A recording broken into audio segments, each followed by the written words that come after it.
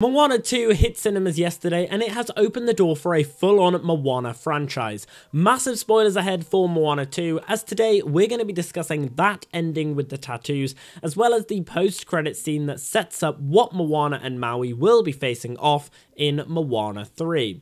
At the end of the film we see Moana get gifted by the ancestors a golden tattoo, with her all being filled with the same pictures of the stars. Just like how Maui's hook lights up with blue and gives him his tattoo tattoos and powers, it looks like Moana is set to have the same treatment where her all will likely light up with gold and give her powers in the third film, and make her a wayfinder who is one with the stars.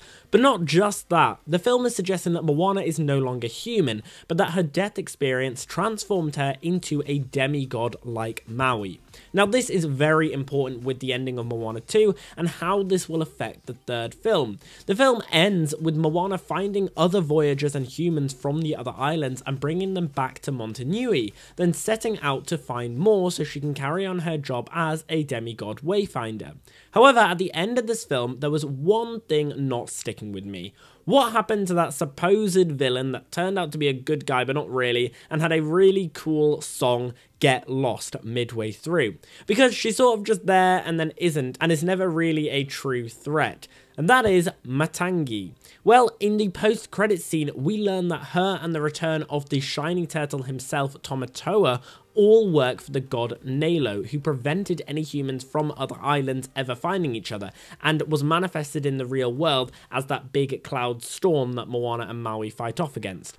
And in this post-credit scene, it was sort of like a Thanos MCU moment where Nalo was beginning to gather a team of villains to fight against Moana and Maui and get revenge. This third film will likely see Nalo set out his revenge against Moana and Maui to re-separate the humans and islands and to defeat Moana for good.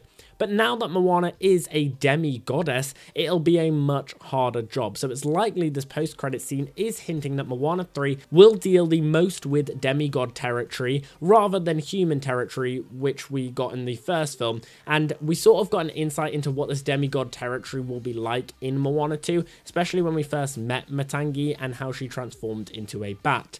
Either way, I'm so excited to see how Moana 3 is going to be set up with Nalo as this big overarching villain and how he is going to set out revenge now that Moana is a demigod. But what do you guys think about this? Did you enjoy Moana 2? Let me know your thoughts down below in the comments. And as always, we've been here on Gate of Theory. Thanks for watching, and I'll see you guys later.